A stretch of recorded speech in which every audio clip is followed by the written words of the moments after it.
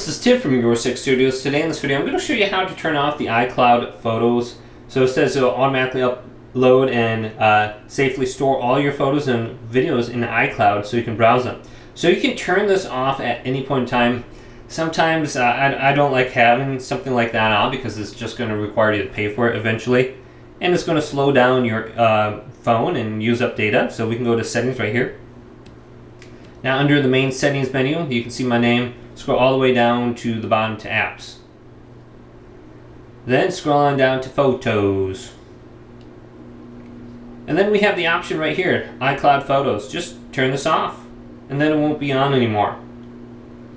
So you can decide if you want this on or off. Sometimes I, I don't like it on. But hopefully this video did indeed help you out. Did leave it a big thumbs up.